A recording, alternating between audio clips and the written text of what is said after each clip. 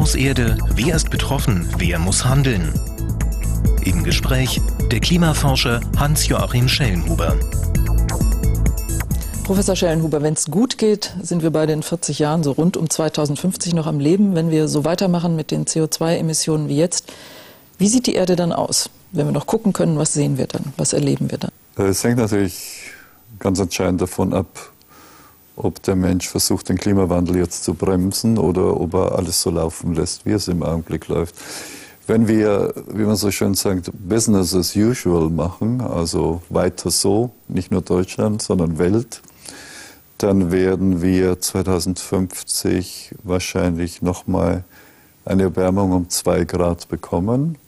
Das heißt, seit der industriellen Revolution wäre es dann eine Erwärmung im globalen Durchschnitt um etwa drei Grad. Und das ist ungefähr die Mitte zwischen einer Eiszeit und einer Warmzeit, die wir in einer warmen Phase noch mit drauflegen. Das würde ja für Deutschland nicht unbedingt was Negatives bedeuten. Ein bisschen wärmer. Äh ja, das ist die landläufige Meinung. Also global drei Grad bedeutet, je weiter Sie vom Äquator weggehen, eine deutlich verstärkte Zunahme der Temperatur. Drei Grad global kann in Finnland, 7 Grad bedeuten im Durchschnitt, aber auch in Deutschland wären es sicherlich 5 Grad Erwärmung. 5 Grad Erwärmung im Jahresdurchschnitt bedeutet, dass Hitzewellen, also Extreme im Sommer, um 10 Grad höher ausfallen können. Das heißt, ein heißer Sommer in Deutschland könnte dann nicht äh, irgendwie Temperaturen von 38 Grad haben, sondern möglicherweise von 45 Grad. Und wenn Sie das so übersetzen, dann beginnt es langsam ungemütlicher zu werden. Wenn wir es global betrachten, wen trifft es am härtesten?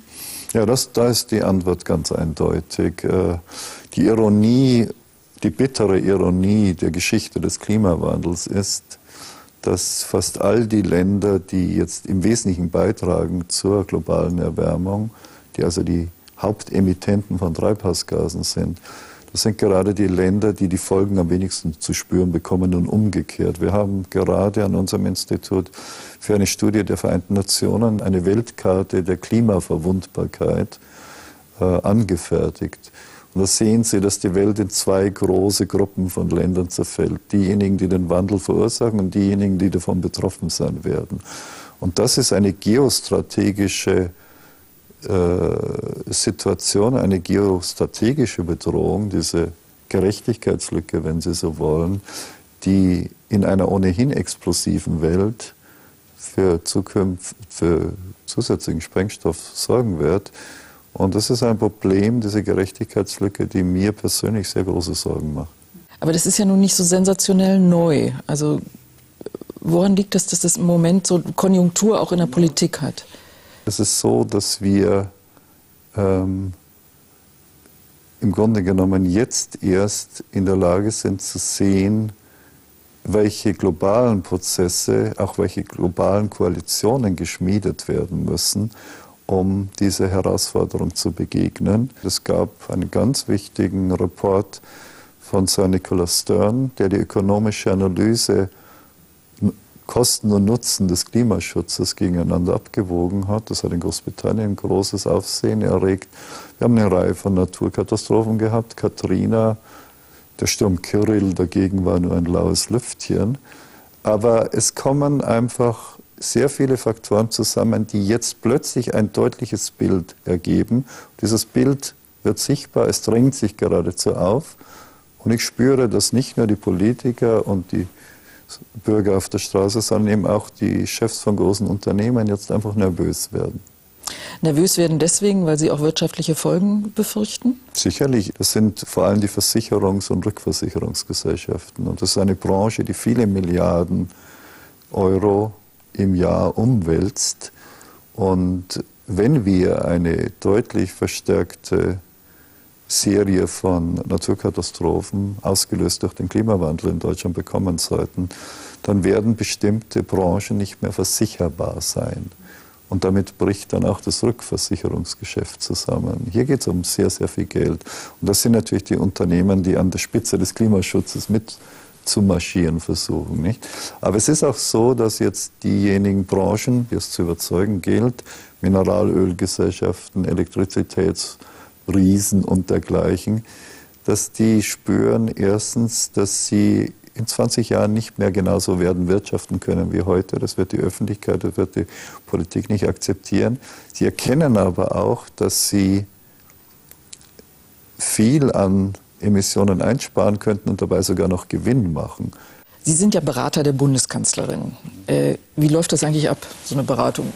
Äh, bringen Sie unaufgefordert Vorschläge an oder werden Sie gefragt? So ganz praktisch. Werden Sie angerufen und. Na, ganz genau werde ich es Ihnen nicht erzählen. Das ist also nichts für die Öffentlichkeit. Aber ich würde ein vages sowohl als auch als Antwort geben in diesem Fall. Ja. Es gibt genügend Prozesse, Vorgänge, wo ein Austausch von Informationen geschieht. Was raten Sie ihr denn jetzt als EU-Ratsvorsitzende und als Vorsitzende äh, von G8 in diesem Jahr? Also die alles überragende Botschaft ist es, die zwei Grad Linie zu halten. Das hört sich erstmal sehr abstrakt an.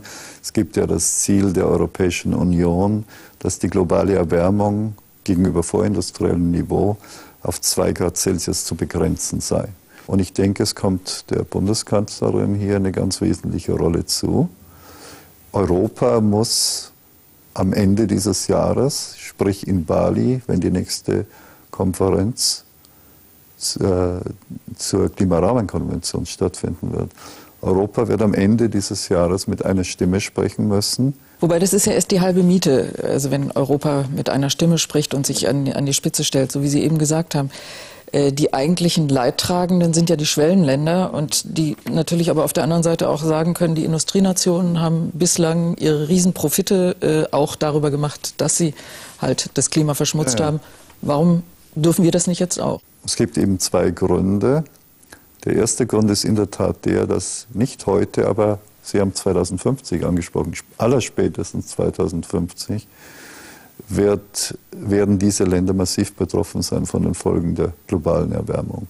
Und dann werden die Gewinne, die man jetzt erzielt mit fossilen Brennstoffen, die werden ganz schnell aufgefressen werden durch die negativen äh, Auswirkungen. Das Zweite aber, und da kommt Europa ins Spiel, diese Länder, diesen Ländern muss vorgelebt werden, vorgewirtschaftet werden, dass man Wohlstandszuwächse auch in Zukunft erzielen kann, ohne massiv auf fossile Energieträger zu setzen.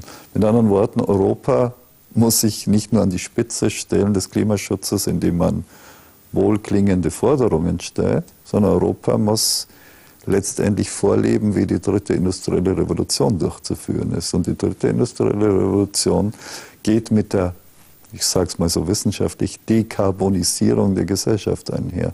Wir müssen diese Gesellschaft letztendlich zu einer Null Kohlenstoffemissionsgesellschaft umwandeln.